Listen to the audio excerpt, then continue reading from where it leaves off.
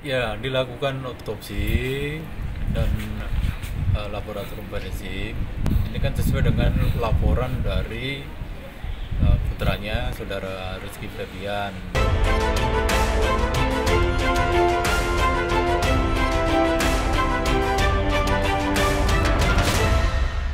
Ya, terkait dengan hasil laboratorium forensik, tentunya saat ini masih di dalam uh, proses pemeriksaan laboratorium. Uh, terhitung memang 14 hari kerja estimasi hasil dari pemeriksaan laboratorium forensik terkait dengan uh, kematian Ibu Lina uh, bisa kita dapatkan. Uh, informasinya memang uh, dalam pekan-pekan ini.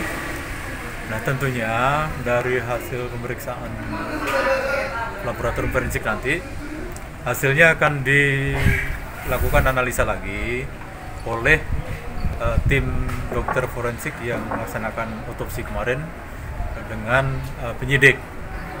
Ya, jadi kita perkirakan nanti pada hari Senin atau Selasa sudah bisa kita sampaikan ke masyarakat. Ya dilakukan otopsi dan uh, laboratorium forensik ini kan sesuai dengan laporan dari putranya saudara Rizky Febian yang melaporkan bahwa kematian ibunya atau ibu Lina dianggapnya janggal dan uh, tidak wajar. Nah tentunya penyidik uh, melakukan langkah-langkah penyelidikan mulai dari meminta keterangan saksi olah TKP dan kemarin tanggal 9 uh, dilakukan uh, otopsi terhadap jenazah Ibu Lina. Di dalam pelaksanaan otopsi itu ada pemeriksaan luar, ada pemeriksaan organ dalam.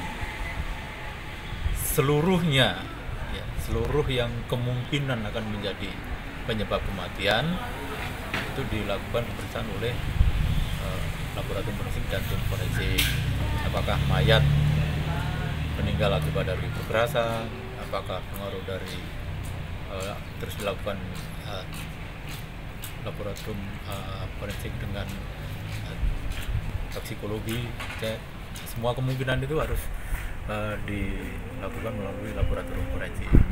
Ya dengan kondisi meninggal tidak wajar, jadi tim forensik secara prosedural itu melakukan seluruh pemeriksaan terhadap penyebab kematian nanti dari laboratorium forensik nanti dari tim dokter forensik yang melakukan otopsi bersama penyidik menganalisa data dari hasil laboratorium forensik yang potensial menjadi penyebab kematian.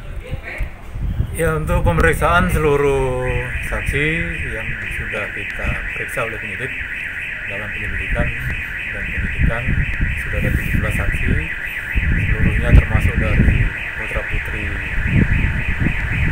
Lina kemudian suaminya dan kerabat termasuk yang memadukan jenazah dan terakhir kemarin kita minta keterangan dari dokter Al Islam Rumah Sakit Al Islam Bandung yang kebetulan waktu penanganan awal ditangani di Rumah Sakit Al Islam Bandung.